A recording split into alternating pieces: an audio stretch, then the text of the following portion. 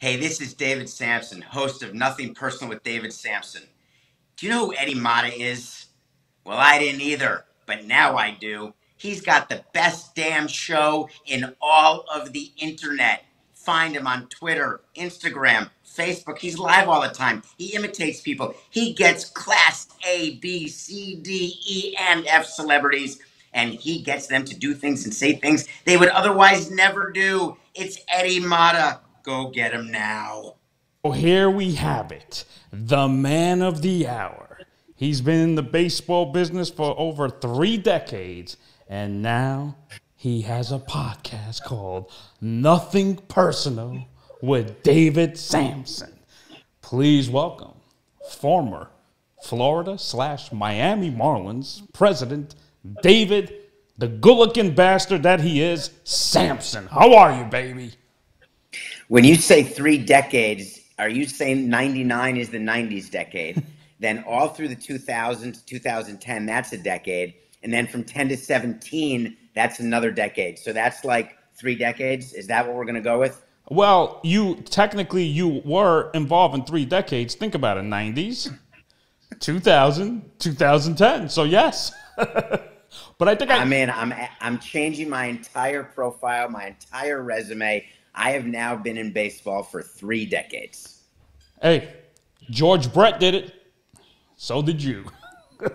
There's a bunch of players, like football players, when they're playing when they're 65, and then they started like one game in 1969. They played in the 70s, 80s, and then 91, and they get to say they played in four decades. So I'm totally agreeing with your math. Well, there you go, my man. I mean, you went to Wisconsin for a reason, right? They taught you well. Two plus two is always four. Always. Don't try to make it five. And you can always get four beers for the price of one at any bar on State mm-hmm. Street every day that ends with Y. Dave, man, I knew you were gonna be a funny guy, man. Manny Cologne told me, "Listen, you're gonna love this guy." I was like, "I know, I could tell." So, David, let me ask you this. Let, let's let's turn back the clock a little bit. When you were growing up, I feel like looking at your pictures, were you this competitor? Like you were like, "I'm gonna win. I play to win, and I don't care if these guys are bigger than me." Was that you when you were a kid? So you have to know that I'm five five, and I've always been small. I'm pretty sure that my mother smoked throughout my entire pregnancy. There's a chance that when I was born, I was dropped on my head. All of those things are possible. Oh, okay. I just know that I was never going to be in the NBA no matter how much I practiced. And I would go to school, and for whatever reason, I was born with this mouth. And I started talking young. I started being sarcastic. I was the class clown because this was before people were diagnosed with ADHD. I just got kicked out of class all the time because I couldn't sit in class for 40 minutes or 50 minutes or an hour. It made me insane. So I would crack a joke, I'd be loud. We didn't have phones or computers, so I would be passing notes or making paper airplanes. It was so bad that my parents, and this is true, and it, it just came out in a recent article, but my parents paid me not to talk at the dinner table. That's how much I talked. And so I always loved sports, always wanted to play sports, and I always had a chip on my shoulder because everyone was taller than I was, and everyone assumed that I would be bad at sports. So I decided that I was going to be good at every sport because I was going to be great at no sports. Oh. So I would learn how to play all sorts of different sports. And my parents sent me to a special summer camp, not the kind you're thinking of. It was a sports camp where it was a three week competition in ping pong, in darts, in basketball, in baseball, in running, in jumping. It was like not even a decathlon, it's a decathlon on steroids. And I went to this camp, I was the smallest kid. Everyone's making fun of me, bullying me. What are you doing here? Oh, you had nothing else to do this summer. I still have the trophy because I won the overall competition because I couldn't win first place in any of the events, but I was good at all of them. And that's sort of been the story of my life. I know a little about a lot of things. So you you were like, I don't care. I, I'm going to compete. That's how it was, right? Well, I did that in my business life too. When I mm-hmm. started a business out of law school, it was a business that had never been done, selling newspapers in Europe same day. And the way that I got that business started was by being so aggressive and doing things so out of the ordinary. True story to cut a deal with the New York Times, mm-hmm. I needed to get the publisher, his name was Arthur Sulzberger. I needed him to get me newspapers early on a Saturday night to get to Europe on a Sunday. I couldn't get a meeting with him. I tried back then. You tried with letters, you tried with the phone. There's no emailing or texting or anything like that. I didn't know anyone who knew him. I went to the New York Times office and I did a walk in meeting, and he would not see me. So then I went back to my apartment and I wrote a letter explaining my business. I got dressed in shorts and a t shirt and a shoulder bag and I went back to the New York Times building. I went to the mailroom and I pretended I was one of those bicycle messengers delivering a letter. And I said, and I looked for someone who was older, who looked nice. And I said, My job is on the line. My boss needs Mr. Sulzberger to get this letter. Is there any way you could make sure you get it to him, or else I'm going to be fired? And I look like a schlep, and etc. Meanwhile, I'd graduated law school, was married, etc. Uh, the next day, I got a call from the VP of circulation of the New York Times, and that was the beginning of my first business called News Travels Fast. So I've always been someone who doesn't accept no uh, in in most circumstances. Personally, no means no, and right. I guess that's true. But in business, hell no, there is no no. Wow, David, I think that with your performance with the t-shirt and the shorts, how come acting wasn't involved? so I always wanted to be an actor, and I did act in high school plays, mm-hmm. and I acted in plays in grade school, high school. I co-wrote a play with my cousin that I performed in for charity, which is a whole nother funny story. And then I was in a real play where I tried out in 2014 to be in a, a real full feature play, and I won the part of playing Lorne Michaels in a play called Not Ready for Prime Time. And I walked into the first rehearsal, and all these professional actors looked at me because I was the president of the Marlins at the time. They looked at me and said, What are you doing here? Like, this is a joke, right? Because they were taking it very seriously because it's a mm-hmm. real play. And guess what? I knew my lines and I worked my ass off. And that play ended up performing in front of sold out crowds for the 24 performances we did. And I absolutely loved it.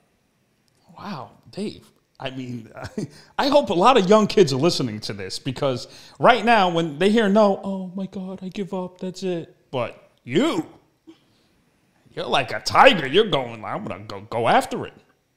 Well, we don't let kids here know anymore, right? It's the participation right. trophy. It's something that I was totally against when my kids yeah. played Little League. Uh, I always, everyone, I was president of a team. And so all these parents were handing me DVDs of their kids playing baseball. Hey, do you think you could give this to your scouts? Or hey, do you think my son's good enough? I'd say no, he's not. There's no chance he's going to be a pro player. Let him have fun. But these parents are yelling at their kids. The kids are swinging and looking at their parents, saying, "Are you mad? Is everything okay?" And then our team finishes in last place, and every kid gets a trophy and a pat on the back. I did not like that. If you lose, you're a loser, and you've lost work harder to win next time, but be realistic with what you can achieve and then go for it. And when you get there, go more and go more and go more. No, I totally agree because I, I say that right now. I'm like, I disagree with this. Everybody deserves a trophy bullshit because why? Learn from your mistakes and move on. You think Tom Brady winning all these Super Bowls, you think he feels sorry for the opponents? Are what Tom Brady me? and Michael Jordan have in common is they have this kill attitude that they don't want to beat you by a touchdown or by 10 points. They want to crush your spirit. They want to stomp on you until you're dead, and then they want to keep stepping on you until you break up, like when you kill a bug on the street and then you mm-hmm. just play around with it to separate it into 49 different parts. That's what a killer instinct means. And if you want to be a winner in this world, however you define it, if you want to define it by money, by status, by social life, whatever you define winning as, Charlie Sheen may have his own definition. You have to do more than everyone else. You have to work harder than everyone else. And when everyone else stops, that's when you have to just start. Totally agree. David, how did you get involved in baseball operations? Like, how did it happen? Did you, with Jeffrey Loria, the own previous owner for the Miami Marlins, I could say Florida Marlins too. Um, what was the relationship? Uh, he called me on the phone and said, "Hey, I'm your stepfather. Do you want to help me buy the Montreal Expos?" And I said, "Hey, Jeffrey, I work at Morgan Stanley and I'm making a lot of money, but if you need help, I'll be happy to help. Here's my daily rate." And so he paid me, and I worked with a banker and a lawyer, and he bought the Montreal Expos. And then my fantastic Jewish mother got on the phone and said, Hey, will you help him run the team for a few days? I said, Sure. Here's my daily rate.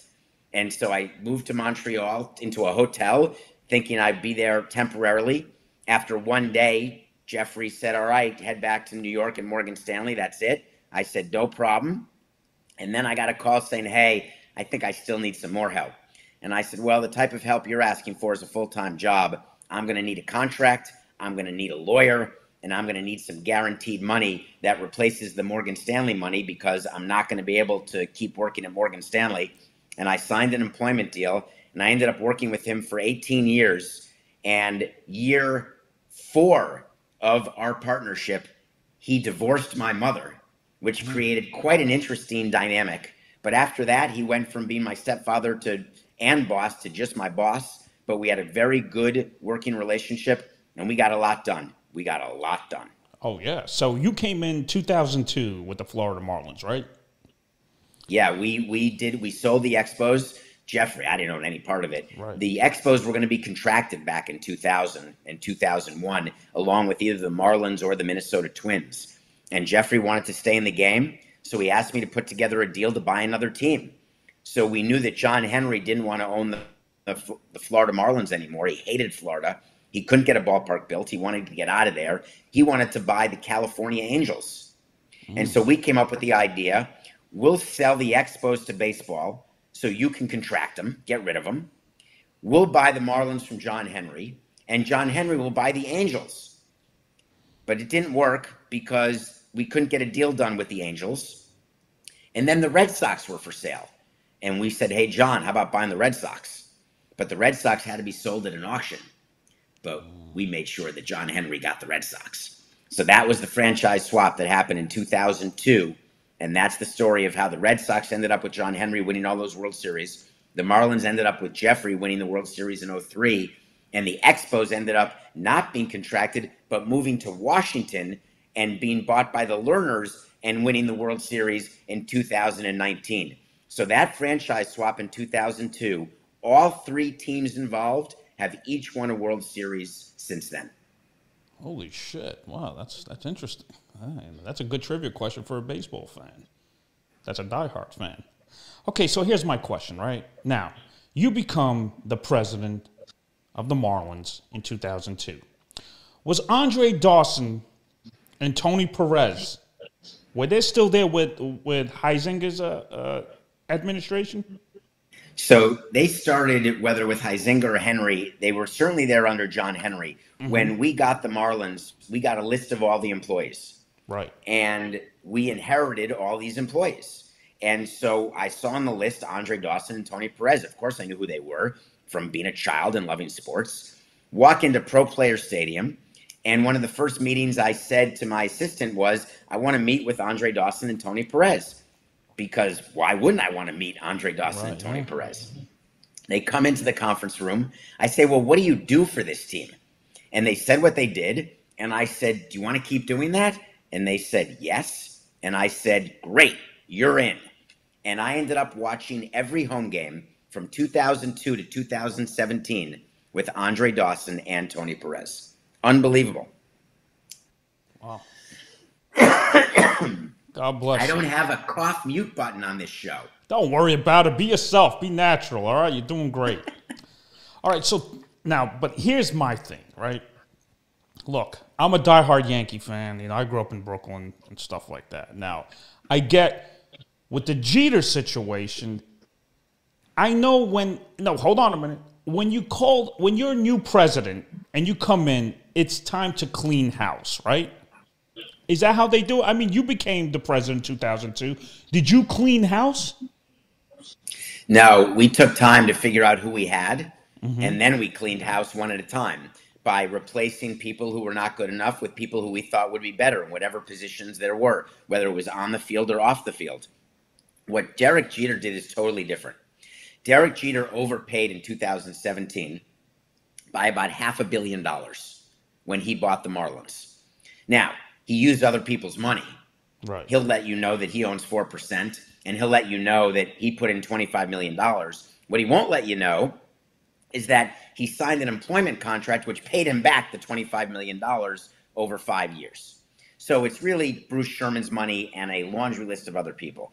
But he was so angry that the team overpaid, that his group of owners overpaid. And the reason he overpaid is he didn't want A Rod to get the team, even though A Rod never was going to get the team. But I told Jeter that A Rod was going to get the team, and they hate each other so much that the way we got the price up is we kept saying, Hey, A Rod, Derek's about to get the team. Hey, Derek, A Rod's about to get the team. Bid more, bid more, bid more. And so Jeter came in angry and he got rid of everything that I touched. Every community initiative that I was a part of got eliminated. Every part of the design of the building. And people mistakenly think that I'm bitter and they don't get it. I'm not bitter in the least. It's his team. I very well recognize that as president of a team for 18 years, you're merely holding a community asset and you're passing it on to the next one because after Derek, there'll be another one and then another one. But the team stays the same because we got a ballpark built. And I'm not upset if he changes the design, the colors, the logo, the players, the staff. None of it bothers me. The reason I talk about Derek on Nothing Personal, my show, is that he does things for the wrong reason. He wants so badly to get rid of anything that I touched, any picture of me in the ballpark, gone, that he will be laser focused on that. And you know what? Fans don't give a shit about that. They want to win games. They don't want to hear that the old owners stink. They don't want to hear the farm system stinks. They don't want to hear what a bad condition the team was in when I bought the team. They want to see wins.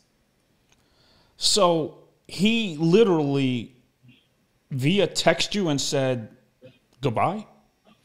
No, the way that happened is I got a text alert on my phone. Mm-hmm. And the text alert said that uh, David Samson has been fired as president of the Marlins. So I get that. I, I look at it. I do a screenshot because it made me laugh.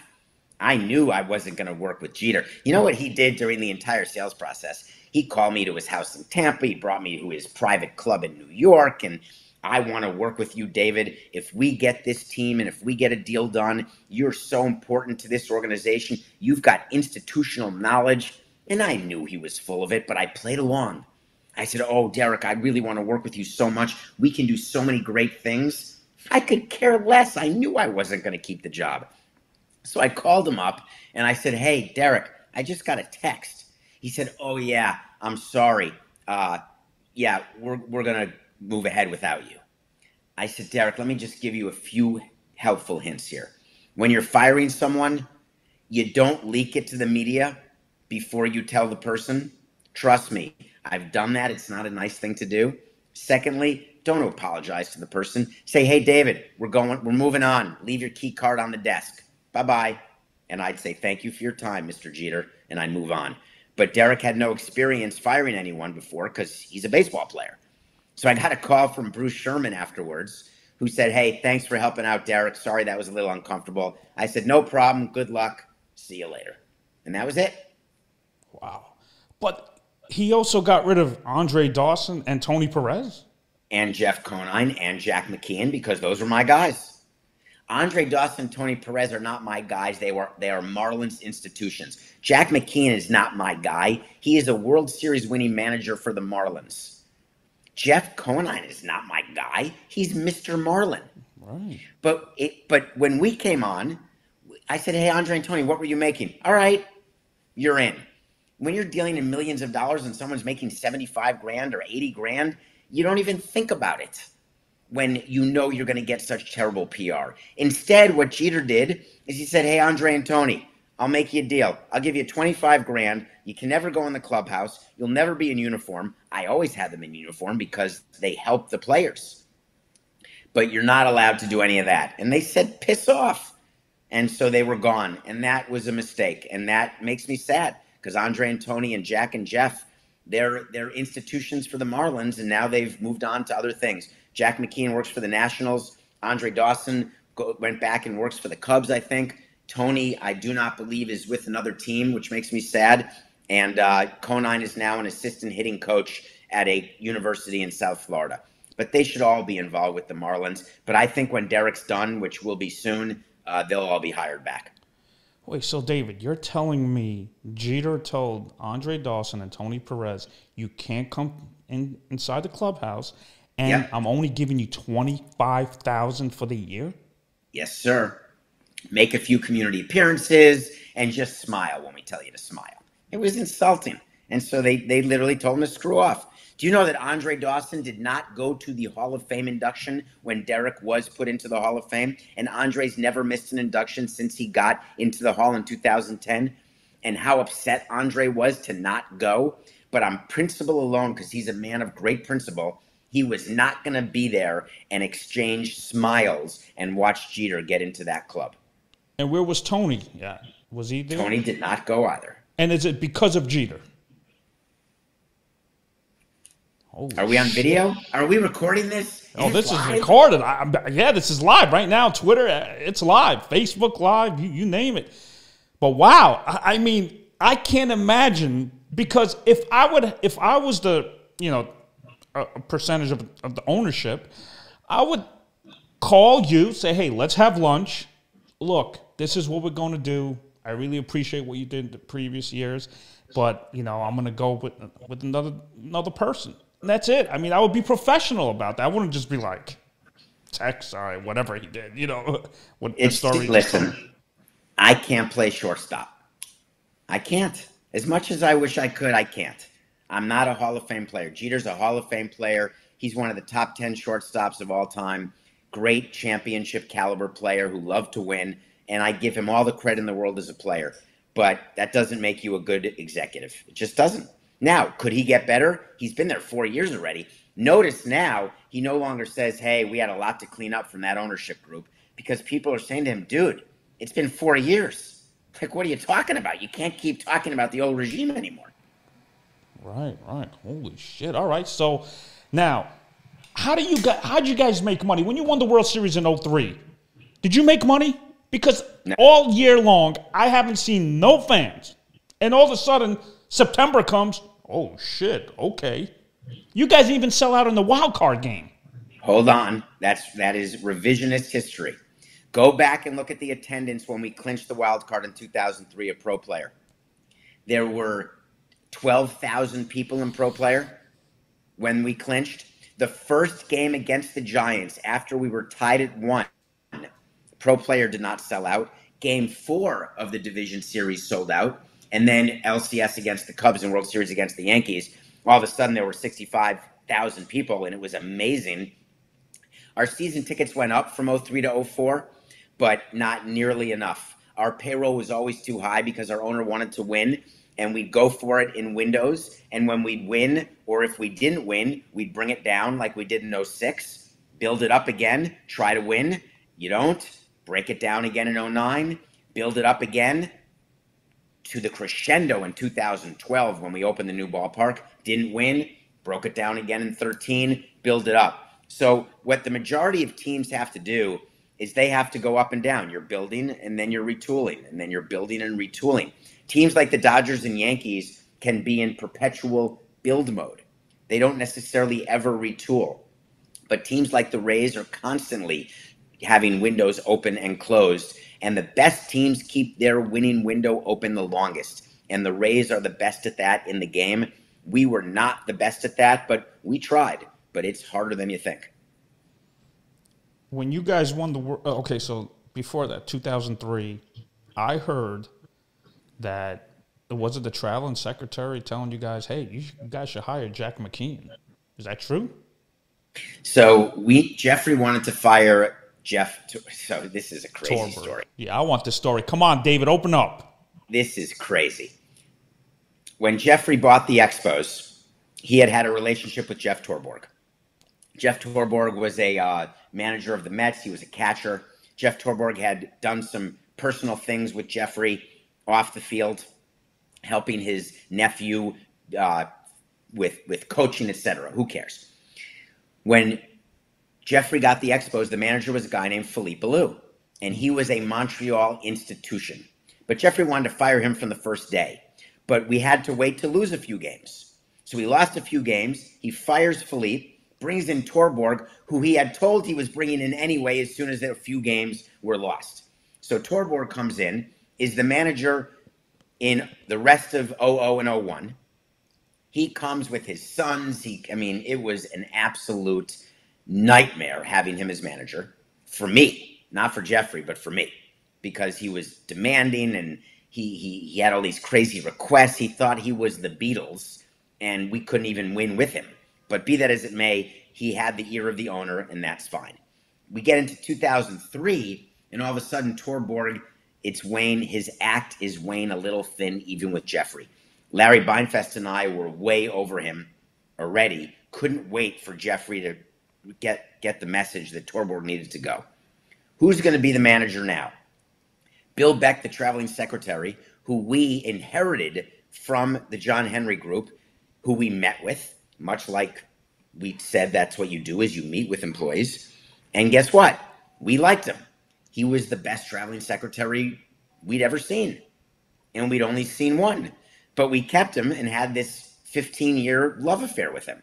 And in 2003, he goes to Jeffrey and says, You know, I'm very close with Jack McKeon. We work together. He's not working right now. He may be just the manager for you. So Jeffrey calls him. Jack McKeon comes to Miami, meets with Jeffrey. Jeffrey loves him, says, We're hiring you. He fires Torborg, brings in McKeon. McKeon starts on a Sunday. He doesn't know one player on our roster, not one. We sit with him, we make the lineup for him. We say, Here's the players, here's who's good, here's who's not. Figure it out from here. He said, You're not going to make the lineup every day. We said, No, you make the lineup. And he ended up being this lovable grandfather, brilliant strategist where everything went right in 03. And the rest is history. We won the World Series because Jack made moves that the players didn't understand, that we didn't understand, but every one of them worked. You see that picture right there? Yes. See That's that? me. That's me holding a World Series trophy in Yankee Stadium before the lights went out. Man, I was so angry at you guys. Man, I was like, bastard. Do you know that we were a better team than the Yankees that year?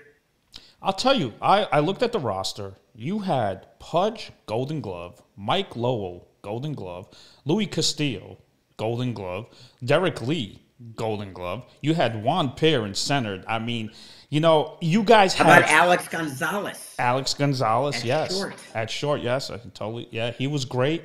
Uh, no, don't worry, you're fine. Um, you had, and then you, you called up, uh, you know, you had this guy with the leg kick. I'm like, holy shit, I love his personality. And then you had, um, you know, this 19 year old hitting bombs against the Yankees. And I was at Miami game three when he hit that bomb to right center. I was like, who's this 19 year old killing my team? Do you know the story of Dontrelle Willis? Go ahead, It's a me. good story. Because now, 20 years later, what happens in baseball is scouts and executives like myself, we say, man, we're so good at our job. We got Dontrelle Willis. We knew he was going to be a star. Dontrelle Willis was a throw in in a trade that we made with the Cubs, where we traded before we even were president and owner of the Marlins for one day. We traded Matt Clement and Antonio Alfonseca to the Chicago Cubs. Wow. We did that because we had to lower the payroll. We got back some players, and I'm trying to remember who, but it doesn't matter. But we wanted for optics because we were new to the market and we wanted to be able to go to the public and say, hey, I know we're trading some of the players you love, but we got three players back. And the Cubs said, We're not giving you three players because we're taking on money. We said, Just throw in a guy. And the Cubs said, We got a guy. He's in low A. He's a lefty and he's got a funky delivery. Not going to make it. Our scouts said, He's nothing. He's not going to make it. He's not even a prospect. So the, the Cubs said, We'll put him in. We said, Great, we'll take him. But we're going to tell people, Hey, this guy was an important part of the trade. And then Dontrelle Willis became Dontrelle Willis when no one expected it. And then we got to say, oh, that was a critical part. We wouldn't have done that trade without Dontrelle Willis. Holy shit, man! I love Dontrelle, man. Even though he, he's the know, greatest. But you got you had Dontrelle, you had Carl Pavano, which he sucked for the Yankees.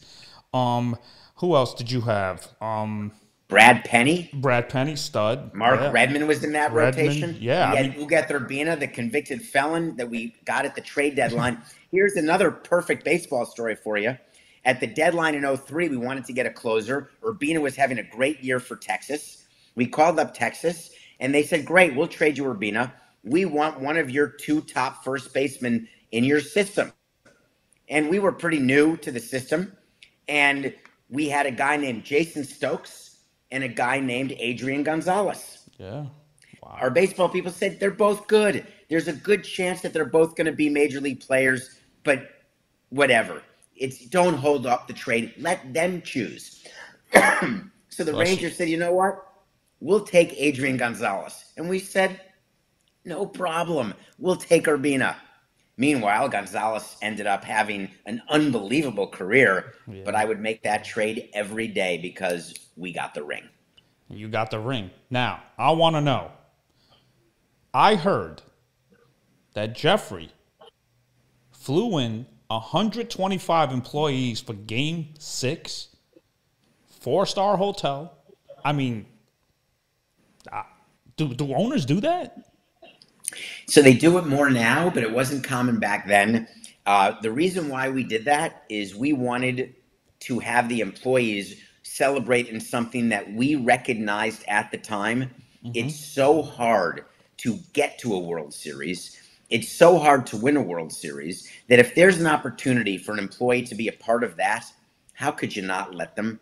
You're making a lifetime memory and you're gaining a lifetime of loyalty. Even if you fire them later, they will always have Paris. And that was our theory and it was so amazing. And all of them got to go on the field after the game, and they took pictures at home plate at Yankee Stadium.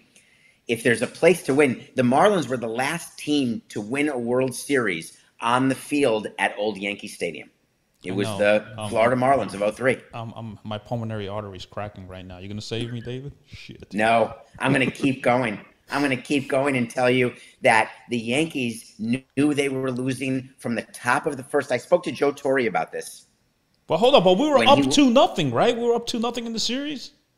No, absolutely not. You lost game one. Oh, that's right. We did lose game one, yes. And by the way, you were losing game one in the top of the first before 20,000 people even gotten into Yankee Stadium. They were so happy that Aaron Boone hit the home run that you beat the Red Sox yeah, we were high. That you that. didn't pay attention to the fact that Juan Pierre got on base.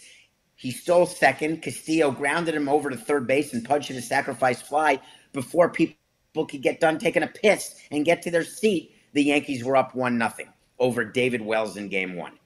Joe Torre knew that the Yankees had a problem because our team was just better. But we were the small market, low payroll against the big, bad New York Yankees. But you know what? When you look at the records and look at the players and the teams, we had the better team. Yeah, well, I can't say nothing about that. I mean, you guys beat us, you know, fair and square. You know, it was tied at one, and then you won game three to go up two one, and then we won three in a row to win the series four two. A little known fact about that Marlins team is we had to win three games in a row in all three series. We lost game one to the Giants, won the next three to win the series. We were down three to one to the Cubs, had to win three in a row to win the series. We did. And we were down two to one to the Yankees and had to win three in a row, and we did. Thank you, Jeff Weaver. Dave, I'm going to kick your ass when I see you in New York in a friendly way. How do you kick someone's ass in a friendly way? Is it like with a noogie? It's You like you put him in a you- headlock with a you, noogie. you give you give him a hug and say, you know what, you're still a great guy, but damn it. I've gotten so many of those noogies because I'm so small and people want to mm-hmm. beat the shit out of me. but I've never been punched. I've never thrown a punch. Never gotten punched because I've always been able to talk my way out of it. And I can squirm out of the headlock noogie, or I can just have big people around me help me. David, that game against the Cubs when the other Alex Gonzalez for the Cubs made that error, but also before that when Moises Alou was trying to catch a fly ball, do you think the baseball gods were with you that moment? They were with us the whole postseason. You know, we don't in the industry, we don't criticize teams who don't win World Series the way the public does and the way the media does. Mm-hmm. Because to make it through October, you need a lot of two out duck farts that drive in runs. You need errors by players who normally don't make errors. We to beat the Giants, Jose Cruz had an error in right field. He was a gold glover. He dropped the ball Right. that helped us win a game. Alex Gonzalez made an error in game six with the Cubs that was a double pay, play grounder. Game over, series over. Yes. He made an error and we took advantage. And you need those little bits of luck to happen. Much like the way the Cubs won the World Series in 16. Mm-hmm. Remember that rain delay? they were going to yeah. lose to Cleveland. The rain delay came, it changed the mojo. You need something like that to happen, and every team gets something like that. I always tell people the month of October, a great team doesn't make great plays. They eliminate mistakes. How often you see a great play? Here and there. But the base running mistakes, you cannot afford to do that, especially in October. You know, you got to make the plays, man. So we had a rule 27 outs. 27 outs is what we are making the other team get from us. We are not giving one out away. It doesn't work all the time because you've got players who run into outs or players who mm-hmm. don't hustle or players who make errors. But it's 27 outs, no more. Don't give another team an ounce. Don't give them a chance. And when another team gives you a chance, you better take advantage of it or you're not going to win. And you know tonight's game, I don't know. Are we are we live? So this show Yeah, ends yeah. today, and that's the end of it. No, no, it's live, but um, it's it's on Facebook and Twitter live right now. You you'll see it. Uh, then I upload it on YouTube, but I'm gonna have to upload it real quick because I'm like, you know, because. Go ahead, spill out your thoughts, but you don't understand, David. I watch a game like you watch the game. I watch it like I'm in the I'm in the dugout like a manager. I'm looking at specific pitches. What are they trying to do with one and two count? What's the shift going on? Is this guy hot? I mean, I break it down like a maniac. People tell me you are a maniac when it comes to October. I tell all my girlfriends, leave me alone for the month of October. This is where it counts, baby. Hold on, timeout. I need a twenty right now. Go ahead. In what order do you tell your girlfriends, Mm-hmm. and which of the girl- girlfriends do you not tell because you want some sort of visit after an eleventh inning walk off where your team loses? I don't really want them to see them for like a week, to be honest. I can't.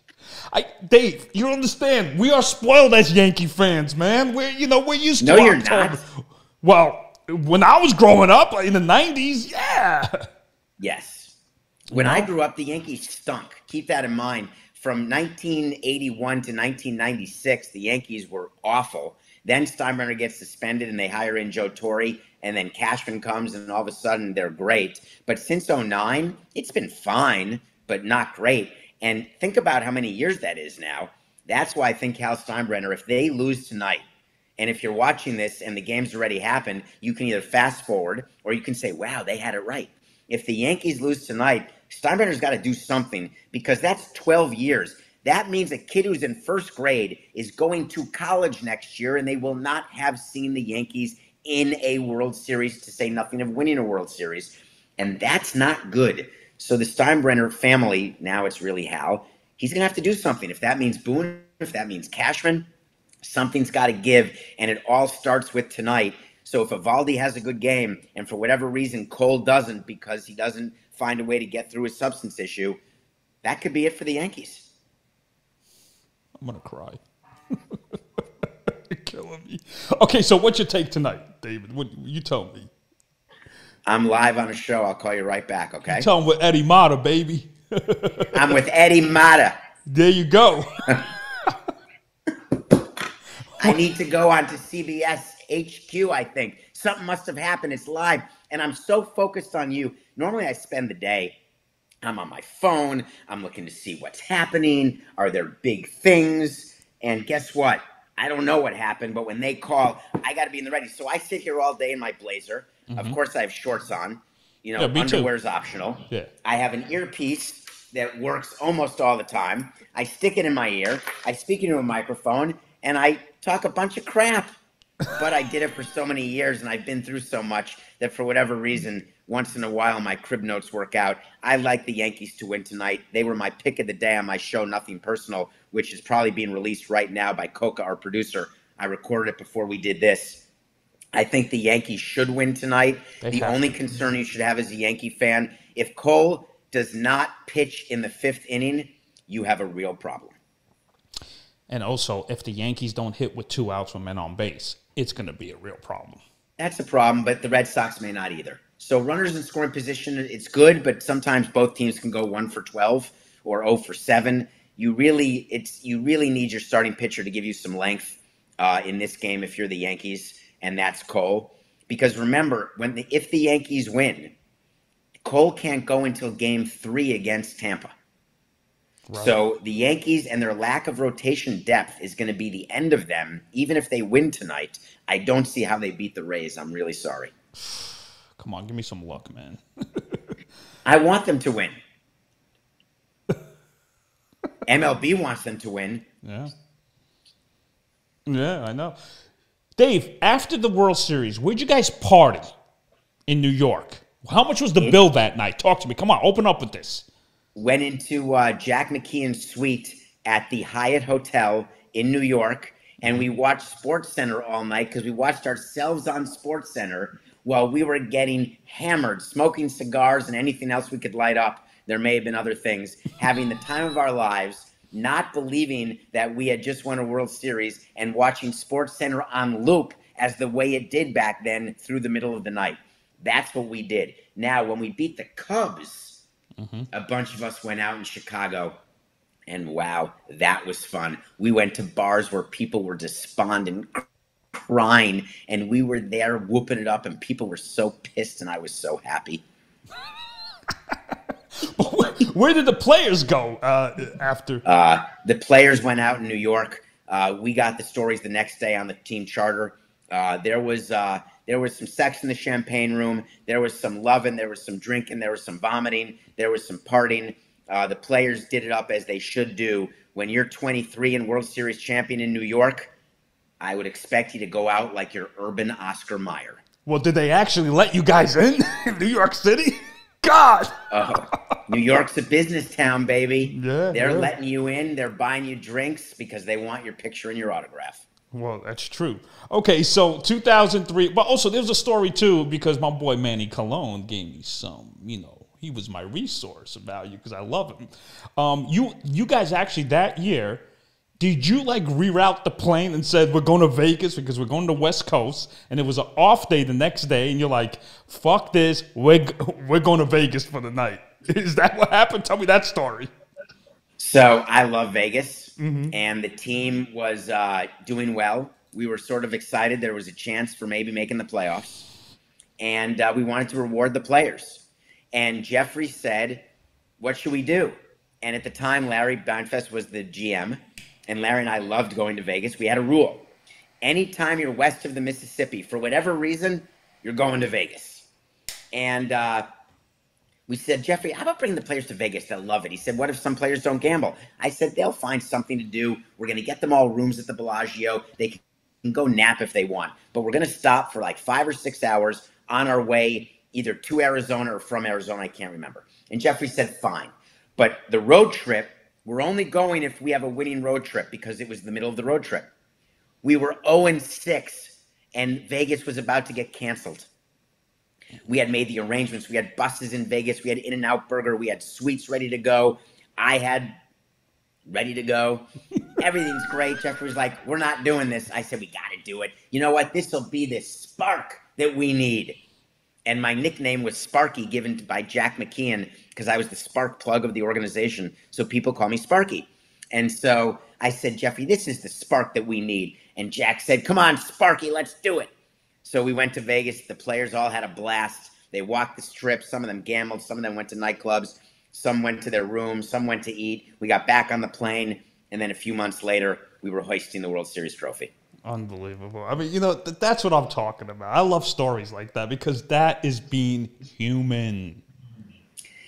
So it's funny when you're the president of a team, if you start believing your own bullshit, if I can say that live, maybe I no, can. please. You, you you can use whatever Um, you want. I got a lot of profanity from well-established actors and athletes. Trust me, you're not the first. Eddie, I have a rule, and I had a lot of negative things written about me in my career, and I have very thick skin. But my rule was very simple. I don't believe when people write bad things about me because I know me and I know the truth. But the corollary to that rule is I don't believe when people write good things about me because I don't perm- permit myself to believe the good and ignore the bad because that makes me a douche Right. and I'm a lot of things, but I'm not that. And so I never took myself too seriously. I knew I was in the entertainment business. I knew I was in the memory making business. And I knew I wasn't curing cancer or splitting the atom. It's sports. Vegas, why not? Go out and party, why not? Try to relax a little, why not? And you know what? We got a ring. and that's what you play for. That's the only thing. You you Now- play to get that ring, right? Money, one, ring two. But you guys, did you guys make money off winning the World Series Uh, as an organization when it comes to money wise? revenue increased by about $25 million, but our expenses increased by more. So, yes, you do get more revenue when you win the World Series and when you have a deep playoff run.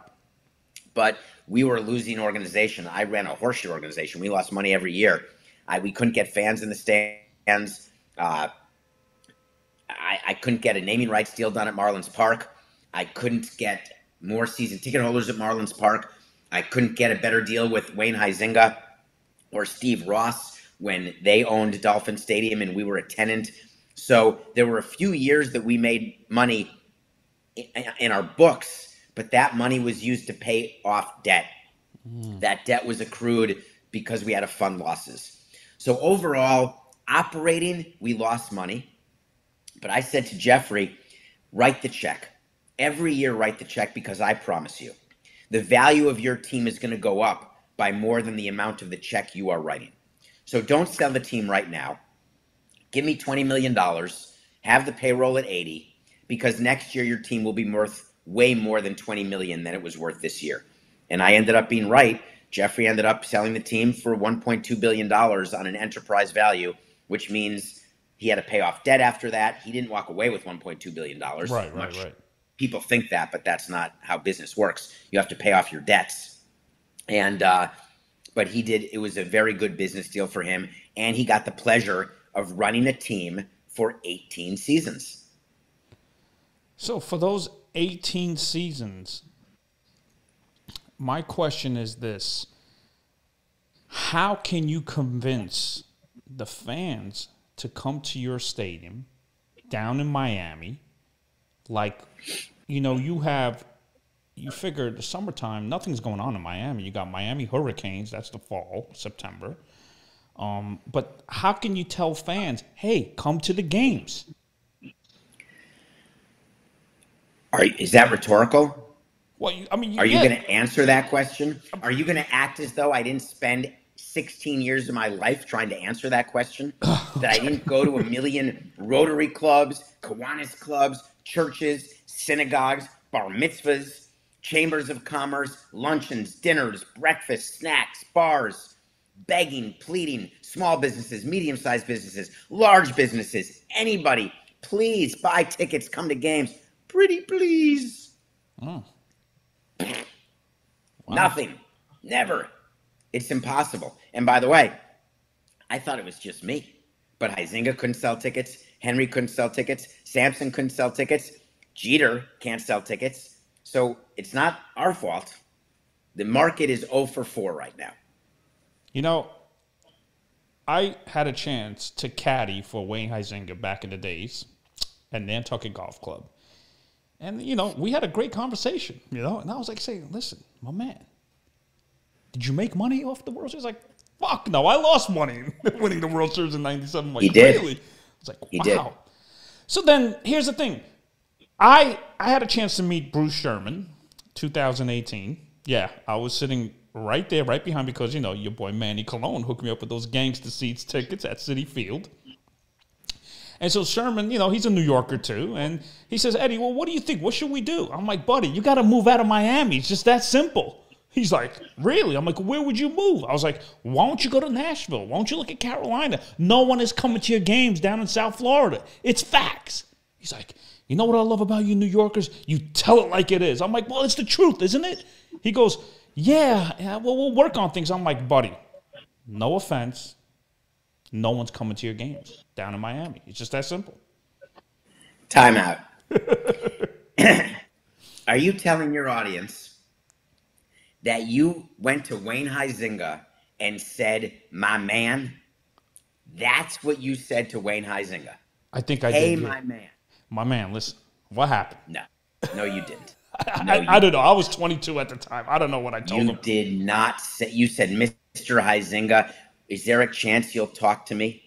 No, no, no. Hold on. I was his Mr. caddy. I was I was his caddy, and everybody known knows about me that I am a personality. I make these people laugh and everything. So Huizenga, love me. My man. My man Wayne, come on. Did you try that with Bruce? My man Bruce, move that team. Did he tell you that because of that asshole Samson who signed an agreement with the public in Miami, the team can never move? We're there for 37 years. Why'd you do that? Hold on, let me think. Wait for it. Oh, yeah, for $400 million of public funding. Yeah, that's right.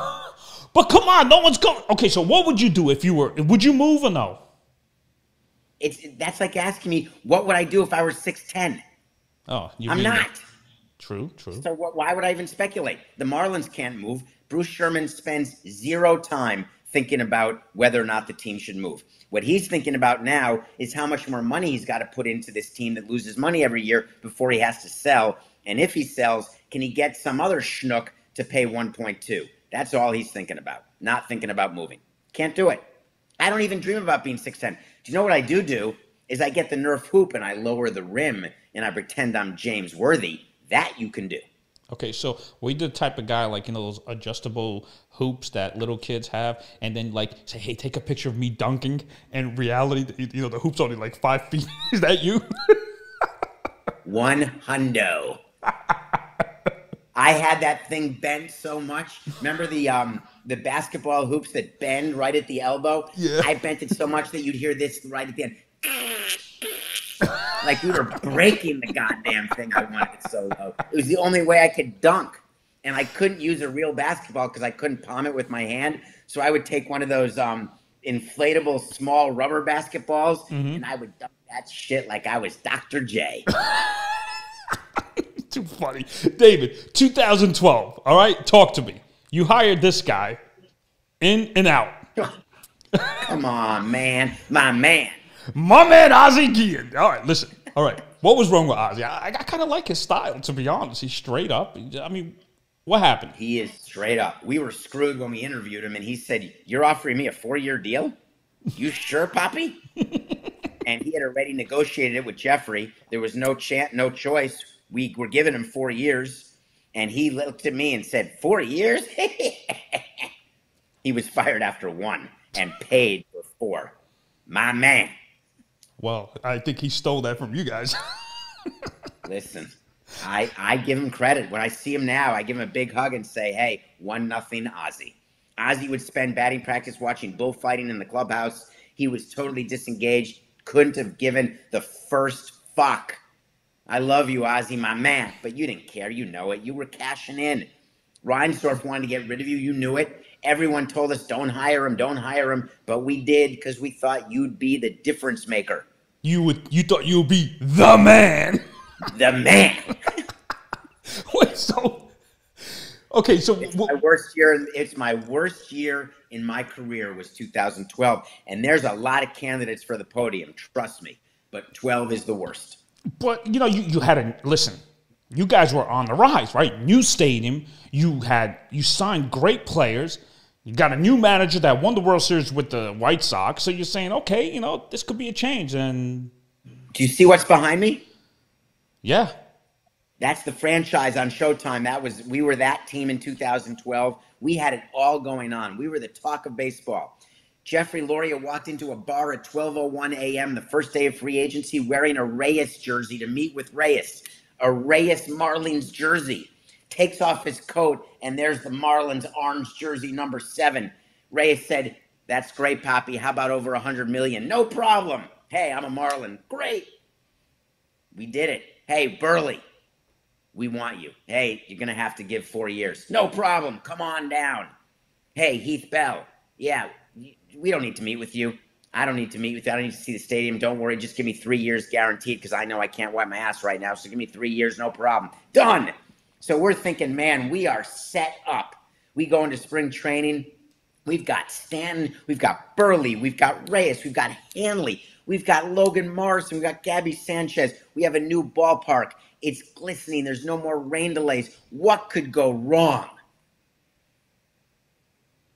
I lost connection. Sorry. What was I talking about? I just lost my. I just totally. I lost my place. you you you had everything going for 2012. You signed these ball players. Everything mm. was going great. And then when did it hit? In July? What, what, I have Eddie. I'm sorry. I must not be hearing you. I have no recollection of 2012. Oh, I don't. Okay. I wasn't talking about 2012. No, I would never talk about a year where we had it all, and then we were playing the Red Sox and we couldn't even sell out before the season started. I would never remember a year where we had a manager say how great Fidel Castro is, which is the definition of cancel culture in Miami. No, I, I don't even remember any of that happening. I would never remember the knowledge that we had to trade Buehrle and Reyes and Josh Johnson and John Buck, who we also had, and and you and me and the ball boy and the scoreboard man to the Toronto Blue Jays. I don't remember doing any of that stuff. Right, right, right. I'm sorry that I reminded you and I brought it up, but damn. But and then you had the reality show. Actually, I know the executive producer. His name is Michael Tollin that did that for you. I know him well. Yeah. He and I got along great. He's a great guy, sweetheart. He did the Last Dance too. Yes, he did. He he loved our story. Uh, the the show was not as successful as it could have been because we had some internal politics going on. We had some issues with screen time happening, but uh, Mike Tollin, David Nevins, and I had some good laughs about the franchise, a season with the Miami Marlins in 2012.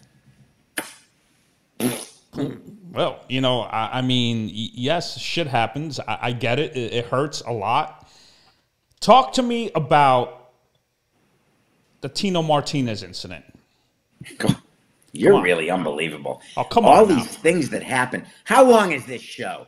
Listen, this show's going until Tino. Okay, so what was the story with Tino? I mean, come on. He tells, pick up the baseballs. You hit, you pick. What's so He's a hard about that? belligerent, um, angry, anger management laden person who was given the job by Jeffrey because Jeffrey loved Yankees so much, Mm-hmm. and he was a great name, but didn't understand.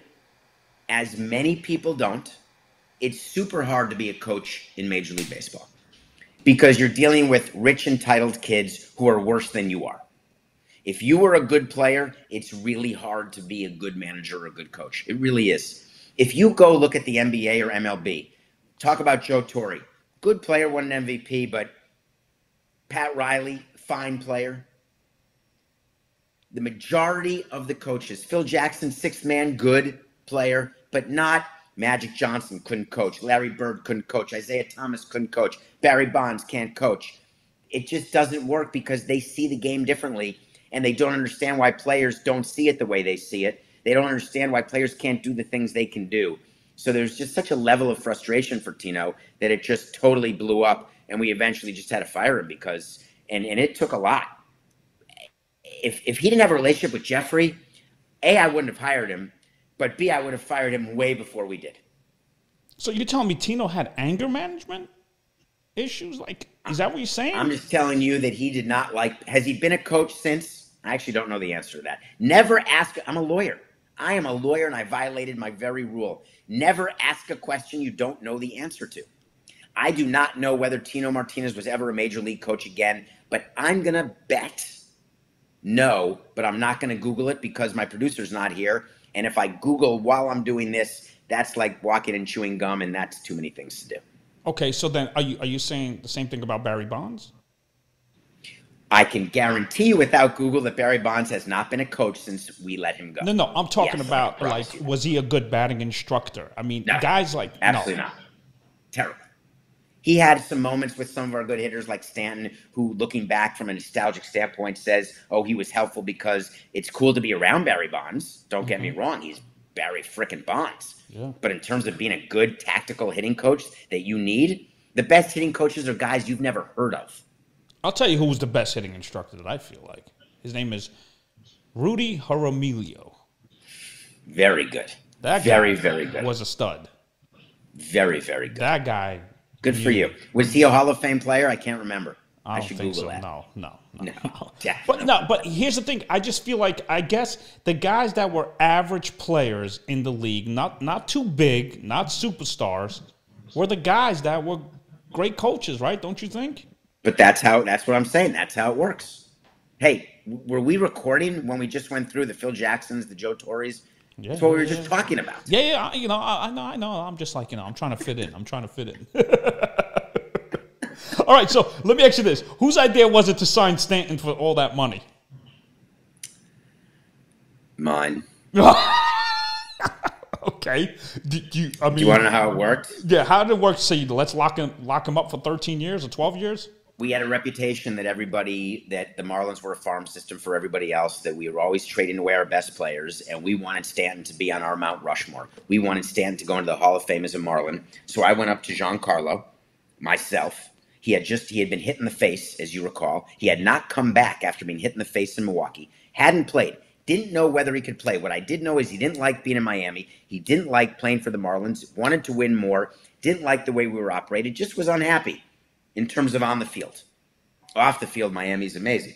Well, of course. So I said to G, I said, listen, I just got a question, just between us. We're going to negotiate with you, and we're going to have a meeting with agents, and we're going to bring Jeffrey and Mike Hill and I, we're Dan Jennings, we're all going to be there.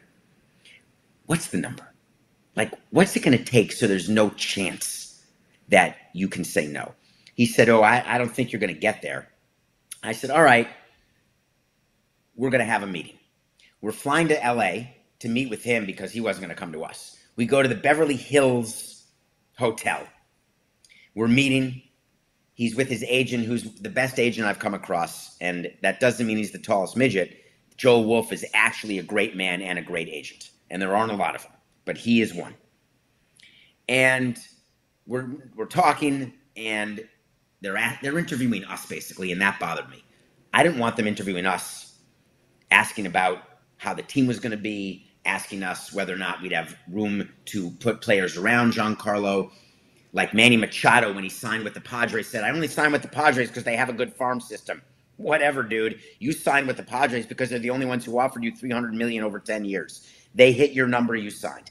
That's how it really works. But players don't want to be looked at as money hungry, which we all are. So what they do is they make up some other stuff. So Stan's asking all these questions. I pull him aside and we walk out of the suite where we were. And I said, Hey, G, this is wasting all of our time. We're going to make you an offer that you can't refuse. And I prepared Jeffrey. I said, You know what? We're going to have to go over $300 million. We're going to have to make him the highest paid player of all time because that's the only way he's going to say yes. And if we do that, I promise you, he will say yes. And I didn't know at the time, but it's what I thought. So I take Giancarlo out of the room and I said, All right, no more. We're going to offer you $325 million over 13 million, over 13 years. And he looked at me and he said, You are? I said, Gee, you can't say no to that. You haven't had an at bat since you got hit in the face. You don't know whether you can still hit a fastball. You don't know whether you're going to be scared of the ball. You don't know what's going to happen to your knee, your back, your tuchus, your head, your eye, your shoulder. You don't know anything. We are giving you $325 million. Might we suck? Yeah. Might we win? Yeah. Might you be traded? Oh, you want to know trade clause? We don't give those, G. Don't ask me for that. We don't do it. We can't do that. He said, David, 325, 13, no trade clause. We walk out of here with a deal. I go back into Jeffrey and Larry and I say, listen, we don't have a choice here. This is what it's going to be. Or uh, it was Mike Hill at the time. And we gave it to him. And that is the only no trade clause we ever gave in my whole career on a multi year deal was to Giancarlo Stanton. And that's how that deal got done. Wow. Holy shit. That's amazing. That's an amazing story. And then under Jeter, he got rid of him. So what what Jeter did, they had we knew when when we sold the team to Jeter, excuse me, we knew that they were going to trade Stanton because when you buy a team, you have to submit your projections to the league. So I had seen what the Marlins projections were, and I knew that with where their payroll was going, they couldn't have Stanton on the team. But I also knew Stanton had a no trade clause. Mike Hill did an unbelievable job of getting Stanton to where he wanted to go. He wouldn't go to the Cardinals. He wouldn't go to the Giants, ironically. He would go to the Yankees and the Dodgers. That was it. And Mike Hill got a deal done. Wow. Talk to me about Mattingly. What what made how'd you guys hire Mattingly? I mean he's he's the best. Look, I'm even wearing his nineteen look, look, look at this. See the 1984 top shirt right there. Oh God, I love that. See I that? love that. See, that's my Hey. idol, baby. I'll make a tender offer for that shirt right now. What size? You are a size small? Size large. You know, I Ah, got I got a little muscle. You know what I mean? I, I don't need a night shirt. So uh, Jeffrey had said to us in 2016, uh, I'm trying to remember who our manager was in 15. It may have been Mike Redmond, Yeah, Redmond, I think it was. and he wanted to move on from Redman, and he wanted to bring in uh, Mattingly. Mattingly was with the Dodgers, and the Dodgers didn't want to keep him. As you recall, he had brought them to the playoffs, but they didn't win. Right. and Andrew Friedman was there, and Andrew Friedman was new to the Dodgers, and he didn't want Mattingly. So we negotiated that Mattingly would get fired from the Dodgers and hired by the Marlins. And Mattingly couldn't have been nicer. We interviewed him. We knew he was getting the job. Mattingly knew he was getting the job. So it was not a real interview. It was a getting to know you session. And he and I, I can't say this. I can't say this. Cut that. I can't say that Don and I still are in touch. Cannot because then he'll get fired by Jeter. So I don't speak to Don anymore, mm-hmm. ever. I'm totally out of touch with him. He doesn't talk to me anymore. But he and his family are so wonderful. I'm so happy that Preston Mattingly just got a job with the Phillies or the Padres with a P team running player development. Uh, Donnie has a, a little boy who's now growing up named Louie, and his wife Lori is so Yeah, wonderful. yeah. He is. I would sit in rooms with Donnie before and after games, thinking to myself, I'm pinching myself. I am working with Don frickin' Mattingly. It was. Uh, I was never starstruck with any players over the course of my 18 year career, but in the beginning, I was with Donnie, and then we just ended up companions. But in the beginning, I was like, "What am I doing here in a room with Don Mattingly?"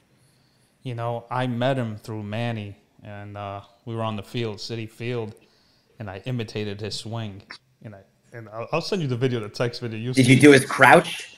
Yeah, I, I used to do. You know, the, the this with the Yeah. with the. I mean, he's and we talked for like ten more minutes, man. I was like, Good for you. You He's are such a good guy, such a mensch. I feel so badly because, but for his back injury, he's in Cooperstown. Oh, without a doubt, without a doubt. You know, uh, and he's he just he's so humble, man. He doesn't let success get to his head. He's so nice to people, and I'm like, wow, man. I, the best feeling when I met him and I imitated his swing, and he was like, "Yeah, that's me. That's exactly like me." I was like, "Listen, you had numerous batting stances, but I'm gonna pick the prime one." you know, with the elbow he used to do, and then he crouched down to hit that shot to the upper deck in Yankee Stadium, in the old stadium, and I was like, "Man." But the crazy thing is, two weeks later, uh, one of the sports agents down in Florida, my good friend Phil, he's like, "Hey, Skip." Two weeks ago, you guys were in New York and some guy imitated your swing. He's like, oh, Eddie Mata? I love that guy. I was like, oh, shit, he mentioned my name. He was like, yeah. So that's I, pretty. That's pretty cool. Yeah, I actually, um, when Donnie got the COVID this year, I um, DM'd his wife, Lori, and I said, "Hey, I'm just checking up. How's Donnie doing? Oh, he's a bulldog. Everything's fine. Don't worry. He's doing good. You know." I was like, "All right, thank God." He's like, he just misses the field. He is a baseball addict. Like this guy loves the game so much. There was a story. I, you remember that catcher? Was it Dave Val? I met Dave. Uh, Dave Val. I don't know. He was a catcher for the Mariners back then. Dave Valle, like V A L L E. Yeah. Yes. Yes. Sorry, Dave Valle. Yeah. yeah. And um, I don't know how to pronounce his name either, but I didn't. Yeah. Whatever. Yes. So he he said that when he would face Randy Johnson, he'll take the first pitch and he'll look at Dave Valle and go, "I love this shit." you know, Randy throwing 98 nasty ass slider, and he ripped him, man. He, he ripped him, but yeah, that was, you know, Mattingly, I mean, he's a legend. But you know what, what hurts me the most, man? Oh my God. David, I'm sorry I'm reminding you of this, but is this the reason why you're, uh, look at the picture right now. Is this the reason why your stepfather sold the team after his uh, death? You know, it's funny. I was just going to talk about this because uh, you're making me sad a little bit because I'm I'm very sad. Donnie, it was me, Mike Hill, and Don Mattingly who and Martin Prado really. Um, we were front and center that day when Jose died. See, that's the and, picture right yeah, there. That there we press are. conference. It, um, I, uh, I, I, I have nothing to add to that photo, so I'm not going to. Right. Um, I'm sorry, but I when I when I heard that I was in acting school, the conservatory, and my teacher says, Eddie, did you hear about Jose Fernandez? I'm like, yeah. And I had tears, man. I literally, I said, how can this guy be gone? He was so important to the Marlins. He had a daughter, a baby girl. It's like what is his when his girl gets older? What is she gonna say? You know, like it that. I mean, you guys. My daddy, my daddy wasn't perfect, but boy, do I wish I had a chance to have him as a daddy. Yeah. And my daddy made a lot of people smile, changed a lot of people's lives, saved my grandmother's life, made it so I could have a life, and tragedy is not a word to describe what happens when three people die young, which is what happened that day, September 25th, 2016. And it is something I'm looking at a picture of him right now that I keep up. And I, uh,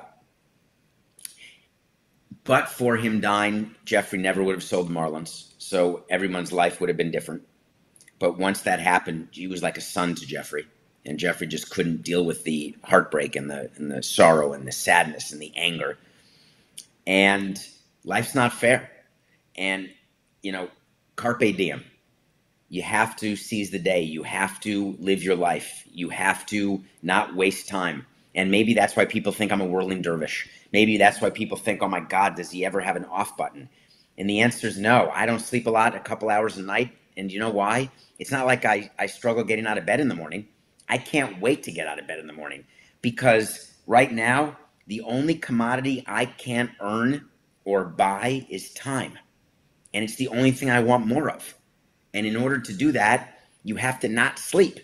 And so I'm I'm okay with not sleeping because it can all get taken away like that. My sister passed away 2 months ago at 56 of cancer. I'm so sorry, David. You, it's horrible to lose a sibling, someone who knows your history, something just happened last night where I was talking to my mother about something from our childhood, and I had a different recollection than she did. And I realized that there's no one to ask anymore because my father is dead and my sister is, and it was us four when we were very, very young before all the divorces. And there's no one to ask. So I'll never know what what is true about what we were talking about. And uh, you can be healthy one minute and you hear stories, and then you're not. So please don't waste a minute. Take advantage of everything you can. And this goes full circle to when the show started, which is you want to know why I don't take no for an answer?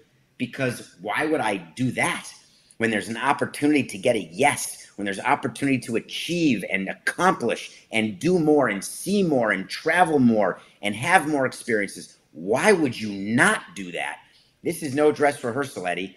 This is it. You're an actor. You know. There's no rehearsal at all. No. This is it. You're live. One time. That's it. Dave, I, I totally agree because, you know, every day I wake up in the morning, I say to myself, I thank the Lord for my organs working. I thank everything that I'm healthy because, yes, I, you know, one of my great friends, you know, Chadwick Boseman, Black Panther actor, my next door neighbor in LA when I was living, you know, we were tight you know, he got the movie uh, 42. He knocked on my window. Hey, man, uh, take out your glove, man. I got some great news. I'm like, you suck in baseball. Why? He goes, no, I need your expertise, man. I'm like, I'm playing Jackie Robinson. I'm like, what? He's like, look, look at the email. I was like, oh shit, okay, because you know I play college baseball down in Florida, Palm Beach Atlantic University. I had a scholarship there, so you know I was the man back in the days. but, I like it. Yeah, but you know it's like when you have a, such a close friend like that, you know, at 43 years old, colon cancer.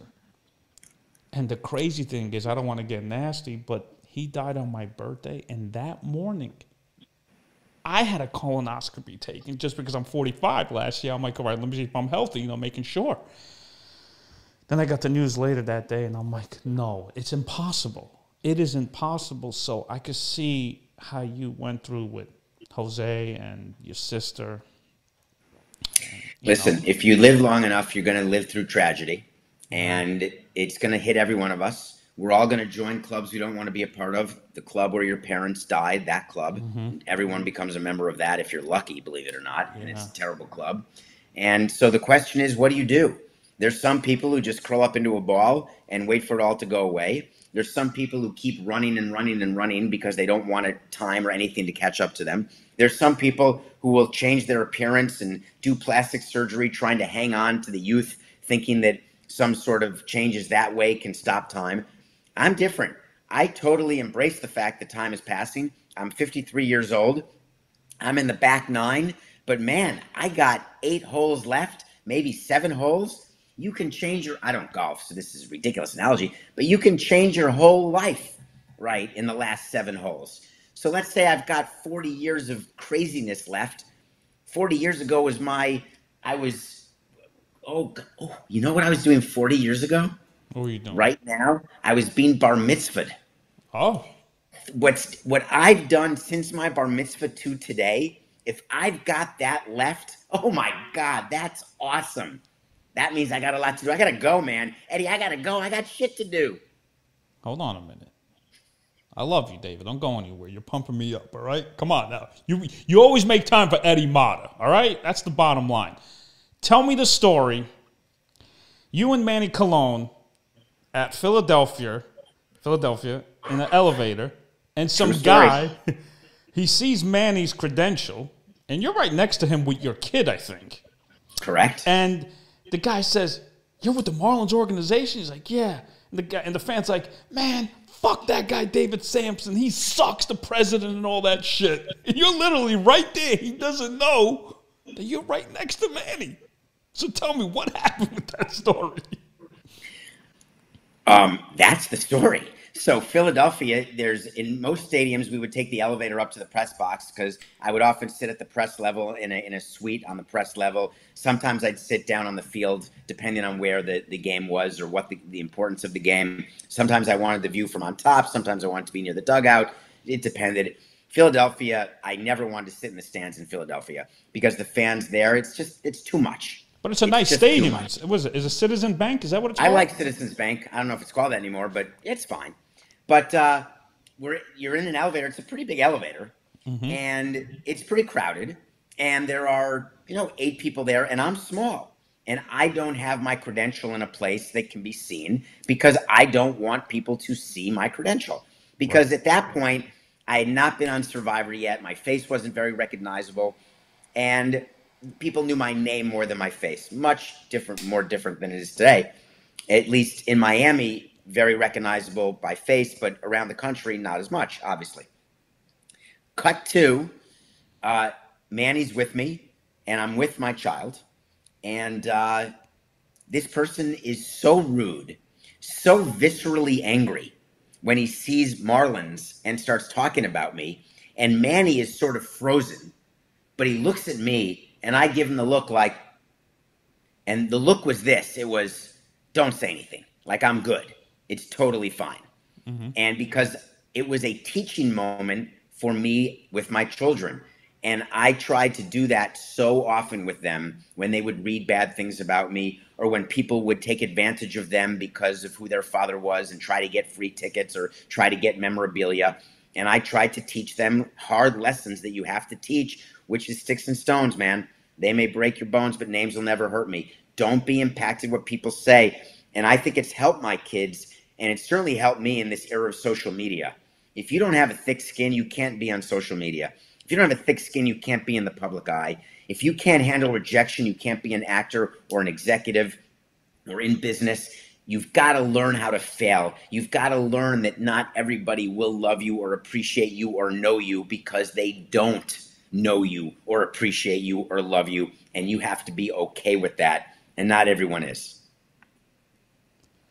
David, how come you're not a motivational speaker? I mean, you, you, like you're pumping me up. Like I feel like you know what I feel like right now. I feel like it's a national college football game in January, and they're coming out of a tunnel. But before the tunnel, the coach is motivating the shit out of you, and you are just fired up. That's what I feel like right now. I, uh, I, when you asked me to do this show, I told you that we'd have fun. I told you we'd have some laughs. Oh yeah. And I told you that it may even be entertaining to your audience because I'm passionate about all the things I talk about and think about and experiences I've had. I'm happy to share my failures because my failures basically have informed all of my successes. I'm not delusional about how I got to where I got to and what I've done to stay there. I'm not delusional about anything, and I'm happy to talk about it all. I talk about my anxiety. I talk about nepotism. I talk about height. I talk about weight. I talk about anorexia. I talk about, you know, self indulgence, egomaniacism, narcissism, whatever you want to talk about, I'm willing to talk about because I think about these things all the time. But you're human. That's what. That's what. You're human. That's what they, they teach us in acting school at the conservatory. Be human. Humans go through a lot of shit. Uh, too many people in the public eye are not willing to be anything other than perfect, and they're not willing to let anyone see. That's why do you think filters were invented on social media? Because people demanded to be anything other than what they are. Why do you think men's Grecian formula is in existence? Or why do you think plastic surgery exists? It's because people don't want to be who they are. They want to be who people think they should be or who they think they should be. I don't want to waste time with any of that. I am what I am, and I, I love what I love. I hate what I hate. And if I can make a bit of a difference on this path, where I'm merely holding the baton for anywhere between 53 and now 95 or 110 years, that's what I'm going to do. So, so what's the secret of looking good at 53 like you are right there? I mean, you got the good skin, the good hair, the good built. I mean, you, you, you know, you're going well, my man. Yeah, my man. I don't exercise. I don't exercise. I drink. I smoke. I don't sleep. I do drugs. And uh, you know what? The, you know what really is the key, and what it's funny, it? but it's Happiness. the only thing that matters. It's jeans. That's true. And I don't mean Levi's. But hold on. It's but hold on. Jeans. You you love the look at the screen right now. You love that. I I'm a candy addict, by the way. And you love this. Addict. And you love this when things are not going your way. no, first of all, I don't drink when I'm despondent. Mm. That I'm not. I don't drink alone. Okay. I don't drink when I'm despondent. I enjoy drinking whenever I want to, um, oh. but I don't do it as a crutch. Uh, candy is an addiction. I have an addictive personality. There's no doubt about it. Mm-hmm. Yeah, what, what happened? Your computer died? I, I, I set my computer that it, it was going to explode like Mission Impossible after 70 minutes with you Oh. because I thought it would be 60 and now it's been 102. So my computer exploded.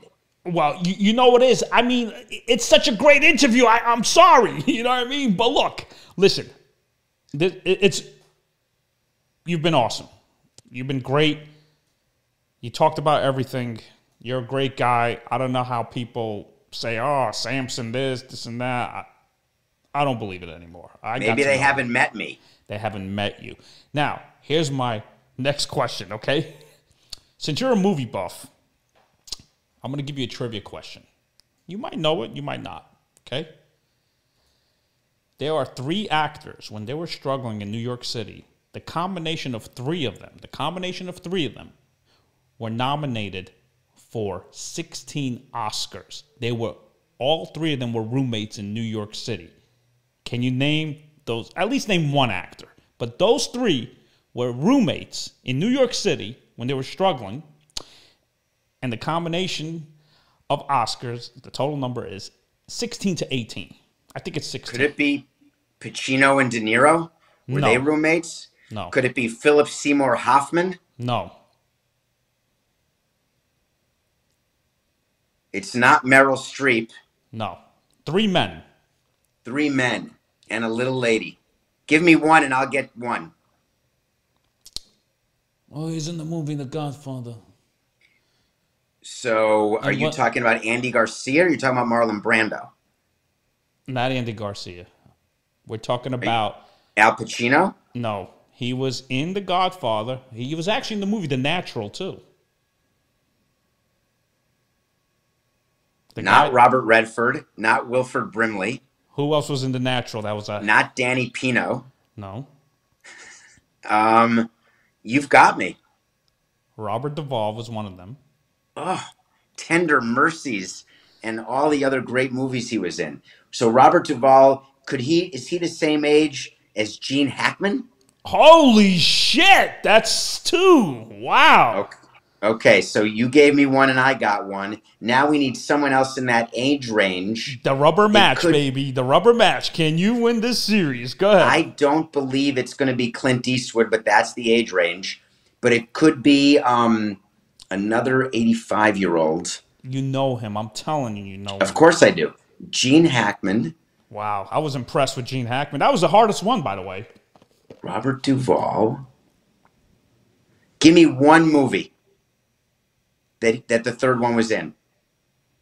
The Graduate. Not. Is Dustin Hoffman that age? Yeah. No. Is Dustin Hoffman in his 80s? Yeah. No, he's not. Don't say that. He's late 70s or 80s. It has to be, yeah. Tootsie is in his 80s? Three of them were Good roommates. day. Roommates. They were nobodies back then. Nobody. I love it. One of my favorite movies of all time is Stranger Than Fiction, which Dust, Dustin Hoffman is in that. People forget his role in that movie. As a matter of fact, in my house, I have one of the props from Stranger Than Fiction. I have Will Ferrell's gown that he wore at the end in the hospital after being run over by the bus. Oh wow! Look at you.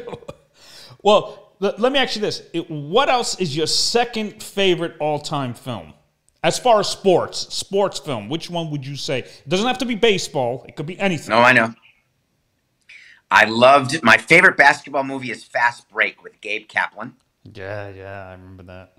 and I love that. My favorite baseball movie, I don't care what anyone says, is Field of Dreams because I cry every time because all I want to do is have a catch with my dad, and all I want is my for my son to want to have a catch with me.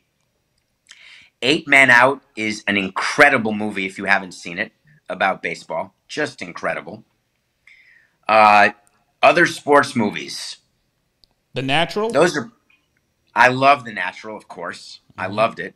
Uh, I, I I enjoyed I enjoyed For Love of the Game, but it's it's minor leagues compared to Field of Dreams to me and Eight Men Out. I enjoy uh, The Longest Yard, but I don't know that I would consider that a sports movie. But I really love the original of that. hmm There's so many great movies. I'm a huge movie guy. You know, I watch a movie every single day. Oh, what'd you watch yesterday? It's funny you ask. Welcome to Collinwood. Mm, Okay. That's a Sam Rockwell movie that I'd never heard of, that I, that I didn't even realize was directed in, by the Russo brothers. And people on Twitter said, "Watch it," because they know I watch a movie every day. And I watched um, uh, Queenpins from Paramount Plus that I reviewed today on Nothing Personal. Amazon Prime. Did you watch the movie Sound of Metal? Loved it. You know, and, I, and by the way, Coda for me is the best movie so far this year. Although Free Guy was pretty phenomenal as well, but Sound of Metal for me was the best movie of the year last year, and I wish it had done better in the Oscars. you know, I interviewed that guy Paul Raci. That's amazing. You know what? When I saw the film in January, I said, I'm, I can't get Riz Ahmed, but I'm going to get that guy. And guess what? I told him in my interview in January, you will be nominated for an Oscar. You will see. He goes, Oh, come on, Eddie. I'm like, You'll see. March came. He texts me. Him and his wife says, God damn, Eddie. he was spot on. So Eddie, I don't like your attitude. You can get Riz Ahmed. You want to get him? Go get him. I'm trying. Listen, Dave, I am a fucking nobody. Okay, I have a scripted show called Who the Hell is Eddie Mata? After 50 guests, it is on. This is on a pitch because this is a spinoff from this show. Because people are saying, How are you getting all these stars? Well, I'm just like you. I'm after them. I say, listen, you will love me. I guarantee. This is how I catch them on Twitter. Out of 46 guests, nine of them on my own. Okay, I knew them personally. But the rest, I go on Twitter. Hey, you would love me. You should be on my show. I send them a mini clip. Dan Shulman, ESPN. Eddie, I would love to DM me back, right? I got um Dan Shulman, the ESPN. I got um who else? Uh who else do I have as far as the ESPN? Oh, what's his name at night? ESPN LA. God, Neil Everett. I got I get these guys. I got Ned Colletti, former GM. You know, I'm like, listen, you're gonna love me. Look, here it is. You know, I like this guy. Yeah, let's do it. You know, they, I got Vincent D'Onofrio, Full Metal Jacket, right through Twitter. Dominic Lombardozzi, The Wire, the um, Ray Donovan, you know, TV guys. I get these guys. So that's how I do Keep it. going, Eddie. Uh, that's how I'm doing it. But listen, don't go anywhere. Please watch this podcast. Name of your podcast again? Nothing personal with David Samson. Wherever you get your podcasts, we're on YouTube as well. It's Nothing Personal with David Samson is the YouTube channel. Every day, five days a week, 45 minutes a day. It's just me breaking down stories, giving you insights into things that you're probably not getting insights from anywhere else. Nothing personal. That's with David Samson. Remember that.